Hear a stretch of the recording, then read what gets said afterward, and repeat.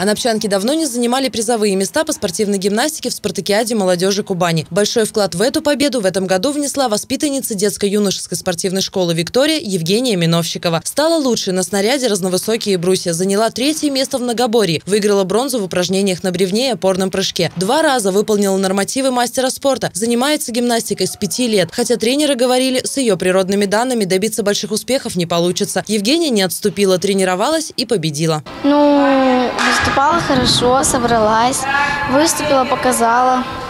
Третье место заняла. В финал попала на всех видах. Мне помогает смелость, устойчивость и не бояться прыгать на снаряды. Я мечтаю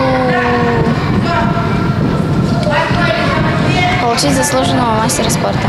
Перед каждыми соревнованиями Евгений вместе с тренером Еленой Алаян выезжает на сборы в Ростов. Там оборудована тренировочная база, а в детско-юношеской спортивной школе такой нет. Если бы не эта база, я думаю, конечно, таких бы результатов не было. Здесь недостаточно. У нас нет ковра. Это, естественно, один из основных снарядов, вот, которого, естественно, нет у нас. Ну, в дальнейшем, я так поняла, не предвидится. И ковер для нас это, конечно, сложный вид. Кристина Сапко на соревнованиях заняла первое место в вольных упражнениях. Золото в опорном прыжке завоевала бронзу в многоборье.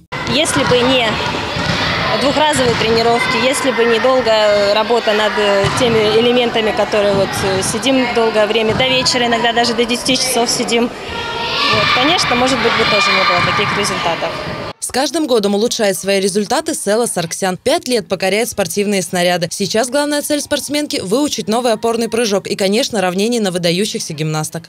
Ну, за последний год я стала лучше делать скок на брусьях. Сейчас готовлюсь к Белгороду, больше всего хочу. А дальше тоже с девочками хочу и в Пензу, и в Белгород везде ездить. Брянск. Каждая тренировка гимнасток – очередной шаг к победам и совершенству. Анастасия Никитина, Максим Лагоша, Анапа, регион.